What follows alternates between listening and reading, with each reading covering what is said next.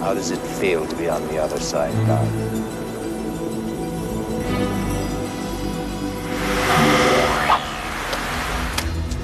I don't know. You tell me.